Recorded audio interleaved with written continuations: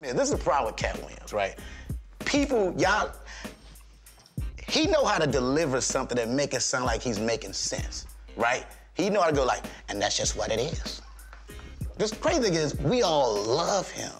And that's why he keep getting, you know why Katt Williams gets so many chances? It's because we look at him like a cartoon character. He's literally like, he's not like a person to us. You know what I mean? So it's like, you keep giving it like, oh, that's why like people, real, why you didn't want to say, I'm like, I'm not gonna, I don't, Katt, that's, that's, like even the Netflix thing, like Netflix calls nobody. I sold two million tickets. Bro, they, I ain't sold a million tickets, but I ain't gonna tell you what they offered me.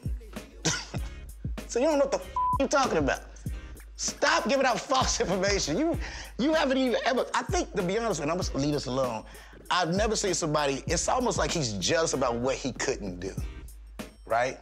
So far, the only thing outside your touring, you just been a cast member. You ain't wrote, produced, you done made all this money. You just producing one of the specials for them people that have been opening up for you for 10 years? For real? We passed the buck the right way. So it's just, it's just very interesting. Like, bro, like, we, nobody bother you, cat. Ain't nobody said nothing about that last special, nothing.